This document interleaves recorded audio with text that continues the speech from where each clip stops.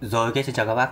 Thì trên tay em đây đang là cái con Vivo X100 Ultra các bác nhé. Thì uh, em cũng thấy là rất ít cái clip uh, mà khui hộp con này. Đặc biệt là ở phía người dùng toàn thấy là các uh, uh, youtuber các thứ là khen nó ghê lắm. À quên thì đây thì cho các bác xem cái ngoại hình của hộp đã. Thì uh, cái con này nói trước luôn là cái hộp này là không trùng số email với cái máy nhé các bác nhé. Cái hộp này gọi là hộp tượng trưng thôi. Nhưng mà nó vẫn là hộp là hộp chính hãng đấy nhưng mà chỉ khác cái số email bên trong máy thôi. Đấy thì đây là hàng sách tay mà các bạn thì nhiều khi nó lẫn lộn giữa email máy và email hộp thì cái đấy em cũng không quan trọng đâu. Em miễn là cái máy ngon là được. Đây mặt trước này. Mặt này không có gì. Đây, mặt này có cái này. Đó thì cái bản này là bản à, 12 256 các bác nhé. Đó. Mấy cái thông số vớ vẩn này thôi. Thì đây đây là mấy cái thông số Ờ, cái hộp này thì ờ, email khác các bác nhé. Đó, mấy thông số này. Có cái chữ ờ, có cái chữ dài to đùng ở đây này. Đấy thì các bác biết là cái có cái lớp phủ của dây ấy, thì cũng có vẻ nguy hiểm lắm. Ok. Đây. Thì đây đây là con máy thì đương nhiên là nó nó đã bị khu hộp trước rồi và cuốn mấy cái mấy cái đựng này cho nó khỏi xước ấy các bác. Đây con này như là con này như là chưa có chưa có bóc cái lớp này sao ấy? Hoặc là bóc rồi mà dán lại thì em cũng không quan tâm miễn là nó không xước là được. Đây con này thì số email khác cho các nhé đây, xem nó có xước không. Đấy thực ra thì em thấy là là máy đã bóc ra rồi. Bóc ra rồi và dán cái đã được dán một cái miếng ờ, uh, PPF ở đây rồi. Không biết có ngon hay không thì em không biết nhưng mà đã dán rồi. Thì em không biết được là cái uh, không biết được là cái máy này ấy, cái máy này là cái mặt ừ, trước này nó có bị xước thế nào không? Thì uh, hy vọng là không xước tại vì dán rồi thì không biết được. Ok cái này thì em sẽ soi cái máy sau nhé. Em sẽ tiếp tục bỏ nó ở đây. Và xem là hộp có đủ phụ kiện không các nhé. Đấy. thì em thấy là cái máy này là máy cũ nhá không phải là máy uh, new luôn ấy. Tại vì bóc ra rồi dán thì em nghĩ là không không phải. Hoặc là em cũng không biết được. Hoặc là hoặc là cái lớp dán đấy là dán lớp dán uh, khi mà mua máy đã có rồi thì sao? Em không biết được. Tại vì em không có dùng phải nói là rất lâu rồi em không dùng cái cái điện thoại của của Trung Quốc nào cả. Thì như cái này này em thấy là bóc ra rồi này. Tại vì người ta xếp lại nó không nó không ngay ngắn nữa. Còn cái củ sạc này thì là, là thì là có cái lớp còn cái còn cái miếng này. Nhưng mà nó cũng nói chung là cũng có vẻ dùng rồi. Đấy cái này thì chắc chắn tháo ra rồi này. Ok. Thôi cái này không quan tâm. Cái này bao nhiêu watt nhỉ? Đây thì cái con này là 80W các bác nhé 80W thì thực ra là nhiều anh em thì thích cái um, cái công suất sạc nhanh thì thực ra em không quan tâm về cái đấy đâu. Em chỉ quan tâm đến là máy nó đẹp hay không thôi. Đây. Còn cái ốp này đây các bác thấy đấy thì nó đã được sử dụng rồi. Cho nên là nó nó hơi bị uh, bẩn bẩn ở đây này có vẻ sức xước đây này không lau được thì có vẻ là bị bị sức xước ở đây này. Đấy. cái này thì từ từ nó lau và cái cái mức độ hoàn thiện của cái ốp này không phải là ngon cho lắm các bác nha. Đây, các bác nhìn này này. Cái ba viên này. À ba viên này. Đấy, ba viên này. Đây là cái ốp chính hãng. Có phải không nhỉ? Theo em được biết thì những cái loại như này là cái ốp chính của hãng Vivo người ta tặng kèm. Nhưng mà hãng mà làm như thế này thì thì em thấy hơi buồn. Một con ờ, máy ngon nhất của họ mà làm như thế này thì cảm giác hơi buồn đấy mỗi chỗ đấy. Thì cái này thì cắt đi cũng được thôi nhưng mà để trên này nữa này. Đấy nói cho soi cái ốp thì cũng không không đáng nhưng mà thôi. Có thì cứ soi cho bác xem thôi. Đây là một cái uh, quay dọc sim ừ, chắc chắn là đã bị tháo ra rồi. Đây là cái gì đây? À đây là một miếng dán để mà bảo vệ camera. Thì cái này miếng này nó khá là mỏng thì thực sự ấy, em cũng nói em cũng cũng sẽ không dán cái miếng này đâu. Tại vì các bác biết rồi cái giá trị lớn nhất của cái máy này nó là cái camera. Mà khi mà các bác dán bất kỳ một cái thứ gì lên cái camera ấy, thì chắc chắn một điều là nó sẽ làm giảm cái chất lượng đi. Không ít thì nhiều nhưng mà em nghĩ là nó sẽ làm giảm đi. Cho nên là chắc chắn em cũng không dán cái này. Mục đích em mua em em dùng con này để để chụp ảnh mà. Đây là cái để mà để cái sim thôi. Đây còn tí cái hướng dẫn. Thôi ok không có gì. Hết rồi rồi. Thì em sẽ tiếp tục em uh, soi cái máy này. Trong khi đó em bật lên nhé chưa bật lên. À, ok. Thì em sẽ soi cái máy này xem là nó có đẹp hay không. Tại vì em là một cái thằng mà mà mà nó bị ờ, nó bị OCD nặng ấy. Nên nó phải là cực nặng luôn đấy các bác. Cho nên là em mà thấy vết xước nào đấy là em em ghét lắm.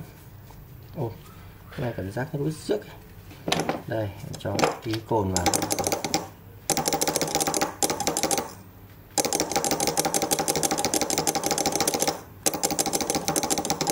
luôn à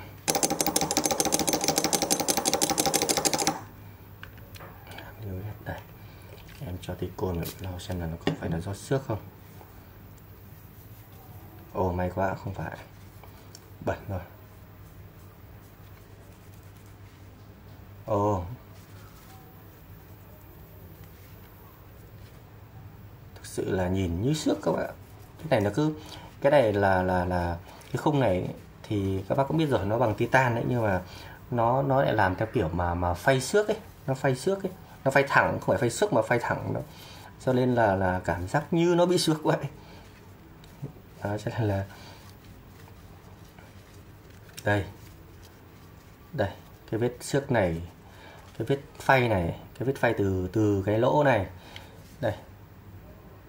Đây, các bạn nhìn nào. Từ cái lỗ này sang lên đây. Cảm giác như là cái vết vết vết phay của CNC nhưng mà thực ra là em thấy nó là vết xước các bạn đó là vết xước thật. Thực ra là nhìn nó cũng không phát hiện ra đâu nhưng nghiêng đến điện sẽ thấy. Đấy đấy các nhìn nào đây này chỗ này này. Đấy không biết máy các bác có bị như thế không? Nhưng mà máy này là em thấy đang có như vậy. Thì ờ, ờ, thì thì thì thì cảm giác là vết xước đấy các bạn. Đấy. Ok cổng sạc này thì ờ, không vấn đề gì không xước gì cả.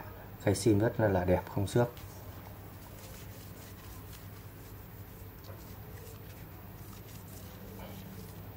Ok, cái cái cách này đấy, các bác nhìn không? Nó ra làm cái dạng mà phay phay phay phay, hơi hơi hơi hơi nhám ấy. Cho nên là cảm giác như nếu mà các bác nó bị bẩn bẩn tí, cảm giác như bị xước nhé. Đấy. Ok, không xước.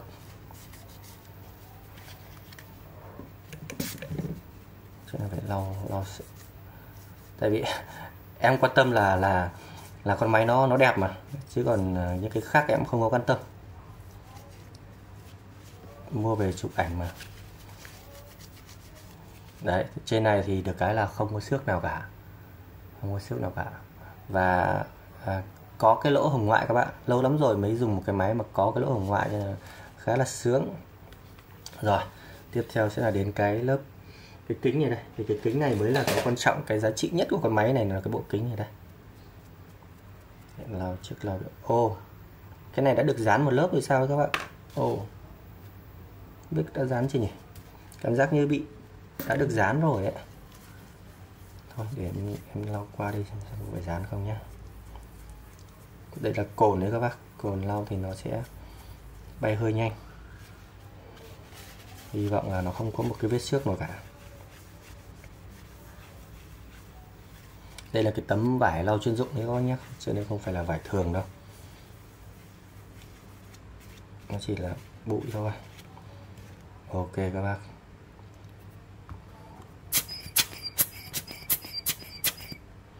Ờ, thực ra đây là cái cái clip mở hộp nhưng mà đây chính là cái clip soi máy thì đúng hơn. Các bác nào mà xem thì hết sức là thông cảm nhé. Em ờ, em bị OCD nặng quá cho nên là nó bị ảnh hưởng. Thực sự là là là em thấy là đã dán một cái lớp rồi. Đã dán một cái miếng rồi. Thấy nó gồ lên một chút các bạn thì để em hỏi cái cái người bán xem thế nào. Nhưng em thấy là dán khá là đẹp cảm giác như như không dán đấy các bác. Cảm giác như là không dán. Trên này cũng không biết được. Còn ok à, cái ờ, cái ống kính có cảm biến em nhớ là hơn một inch hay là một inch gì đấy. Tại bây giờ bây giờ các hãng ờ, bây giờ mấy các hãng bên bên tàu ấy làm cảm biến một inch hoặc trên một inch hết rồi. Thì bây giờ mấy hãng lớn như Apple với Samsung ấy, vẫn còn chưa lên một inch thì cảm giác hơi thọt. À, em đã dùng con S24 Ultra rồi các bác nhé và em cũng thực sự là em cũng không không ưng cái camera của nó cho lắm. Thực sự là như vậy. Tại vì em là người chụp ảnh khá là nhiều cho nên là em cũng không ưng. Cho nên là em cũng bán nó rồi. Cả ngay cả thời lượng dùng pin của S24 thì nó cũng bình thường thôi. Không có gì mà ghê gớm cho lắm. Cho nên là cũng không có gì đặc biệt đối với em rồi ok. Còn đây là cái mặt lưng.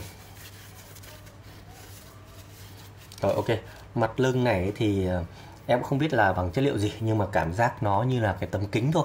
Tấm kính thôi chứ không phải là hoặc là hoặc là sơn lên hoặc cái màu titan thôi chứ em không nghĩ đây là cái cái chất liệu bằng titan. Đấy. em nghĩ còn cái khung này thì có thể bằng titan nhưng mà à, cái khung này cảm giác như nó bằng nhôm ấy. Nó nó nó nó không cho cái màu như kiểu là của con S24 Ultra đâu. Nó cảm giác như là bằng bằng bằng nhôm nhôm phay xước ấy. Đấy thì cái này thì em cũng không không không không nói rõ về không không rành về chất liệu của này đâu. Em cũng không tìm hiểu gì cả.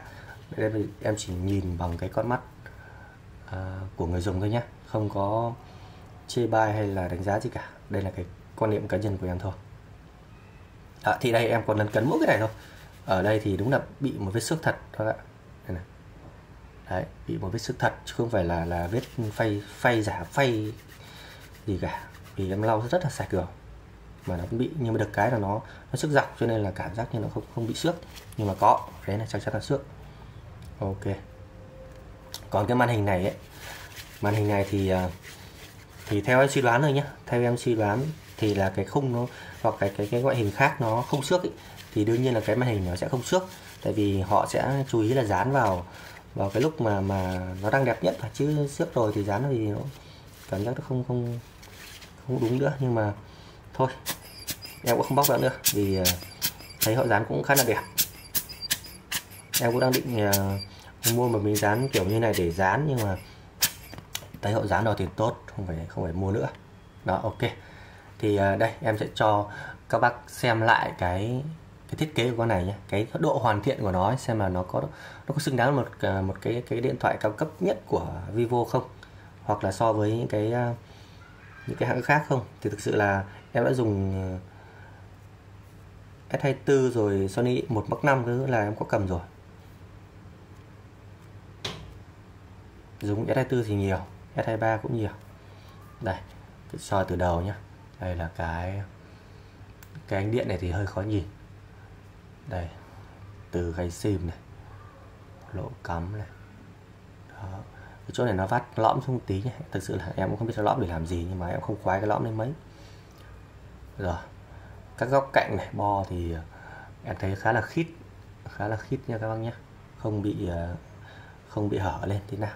Với còn áp suất không thì em không biết thì em em test sau.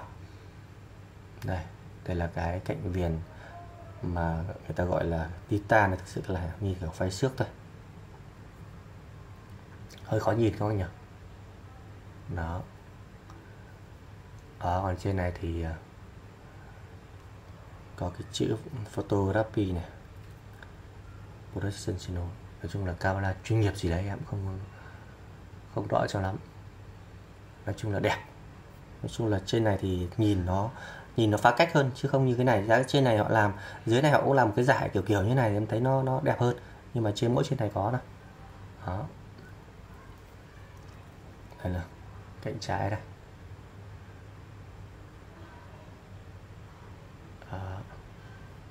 thực ra là đây một cái clip xoay máy thôi các bác nhé. Xoay máy cho các bác xem thế nào thôi.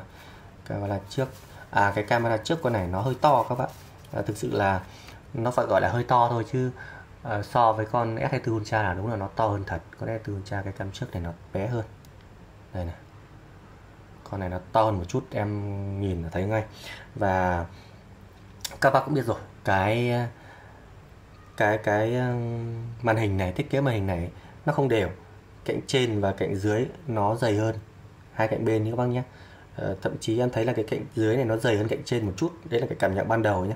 Cái cạnh ờ, dưới này này nó dày hơn cạnh trên này một chút đấy. Tất nhiên thì cầm nắm thì thì thì thì uh, em thấy là nó có vẻ nó thoải mái hơn con S24 Ultra quá. Tại vì cái chỗ này nó nó bao cong nó bao cong cho nên khi mà để vào đây ấy, thì nó nó không bị đau tay như con S24 Ultra đó. Cái này thì tí nữa em sẽ thiết lập sau các bác nhé. Em chỉ chỉ là là là soi cái ngoại hình thôi. Chứ còn chức năng thì thì mới một con mới mới như này thì em nghĩ là nó chả vấn đề gì đâu. Và và và những cái tính năng này tính năng kia thì chắc chắn phải có một thời gian trải nghiệm thì mới nói cho nó cho nó nó rõ ràng được. Chứ bây giờ nói chỉ là cái cái gọi là là cưỡi ngựa xem hoa thôi không có đáng.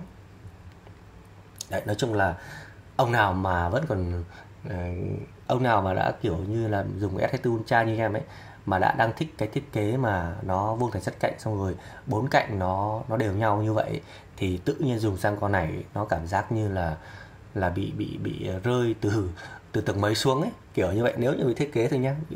Là thực sự là nếu mà cái thiết kế mặt trước như này đương nhiên là cái việc cong hay thẳng thì em cũng không quá quan tâm cho lắm. Đương nhiên thẳng thì em thích hơn chút, nhưng mà cong thì em cũng không vấn đề, không là phải là vấn đề vì cong khi mình vuốt vuốt thao tác vuốt như này thì nó thích hơn nhé các bác nhé tuy nhiên thì cái việc mà không cân đối giữa các các viên màn hình là em đã đã không thích rồi. Nhưng mà thôi phải chấp nhận cái việc đấy và cái việc đánh đổi lên cái cụm đến cái chất lượng của cái cái cụm camera thì em thấy là nó vẫn đáng thực sự là uh, nó vẫn đáng thôi. Và các bác dùng một cái máy nào cũng thế thôi. Sau một thời gian các bác dùng nó tự động nó sẽ nó sẽ phù hợp thôi nó sẽ quen đi ấy. như các bác nhìn thấy không? Em đang dùng con V60 đây. Ờ, các bác biết là các bác sẽ chê nó rất nhiều thứ ở thiết kế này nọ rồi giọt nước cái đồ kiểu luôn. Như vậy đây các bác thấy không? Em dùng đến lúc nó, nó, nó vỡ rồi nó vỡ rồi mà em vẫn đang dùng đây. Ờ, thì tự nhiên nó cũng thành quen rồi các bạn nó không thành vấn đề gì nữa. Đó. và con V60 pin đất trâu con này thì con này thì em thấy là anh em đánh giá pin cũng rất trâu còn trâu hơn S24 Ultra thì vậy ok xem có cái nào soi nữa không? À đây, quan trọng là soi cái cụm camera này cho các bác xem.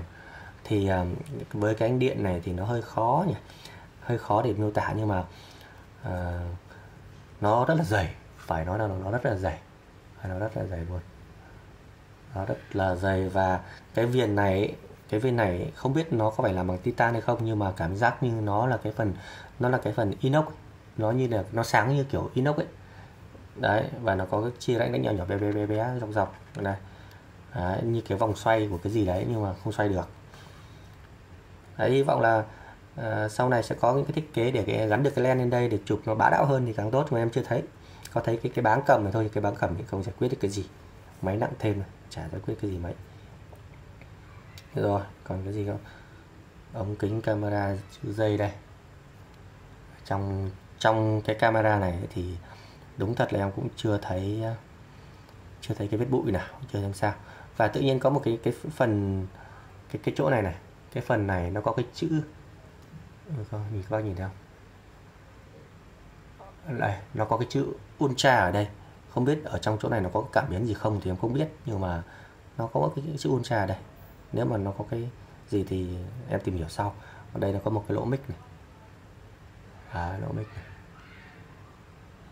Đây, đây chắc là cái camera góc siêu rộng này camera chính này camera tiềm vọng này. Đó, nói chung là không có xước gì cả. Nói chung tạm thời là như vậy. Cái bếp này thì lá xước nhưng mà hơi nó bé bỏ, bỏ qua được. À, em sẽ tháo cái cây sim ra xem là sim nó như nào đây. Lấy chính cái cái khai sim của nó tháo ra. Rồi. Ồ hay quá. Thì uh, cái con này nó nó là được dùng hai sim vật lý luôn các bác nhé hai sim vật lý luôn. Cho nên là là không không cần phải đổi sim. Em đang có hai sim vật lý luôn cắm vào luôn. Và trên này nó có ghi cái gì không? Có có chữ nhé các bác nhé có cái chữ ở đây này. Các có nhìn thấy không? À nói chung là có chữ. Không có số email đâu à, không có số CD đâu. Không có số CD đâu cho nên là là không biết thế nào. Không biết là có trùng cái máy này không thì không quan tâm. Có là được rồi. Rồi ok. Thì đây là một cái clip mà mà em đã soi cho các bác cái thiết kế con này. Nói chung là uh, để em đánh giá thì là cũng lâu lắm rồi em không không có dùng cái điện thoại tàu nào ấy. Nhưng mà với cái thiết kế này thì em thấy là nó đã rất là ổn rồi so với con uh, con S24 Ultra thì chả có thua kém gì đâu các bạn cho nên các bác yên tâm. Uh, về thiết kế thì không lo gì chỉ chỉ là các bác thích cái màn hình cong hay thẳng thôi. Đó chỉ còn em nghĩ là không vấn đề gì. Ừ. Phải chọn ngôn ngữ các thứ. Và các em thấy là hồi xưa à xem có tiếng Việt đây có tiếng Việt đây các bác. Đấy, tiếng Việt bình thường. Đó. Rồi ok. Thì cũng không dài dòng nữa. Sau này em dùng con này một thời gian em sẽ sẽ đánh giá nó xem thế nào, chi tiết xem thế nào. Ờ, và có trục trẹt gì thì em cũng sẽ chia sẻ. Ok, chào các bác nhé.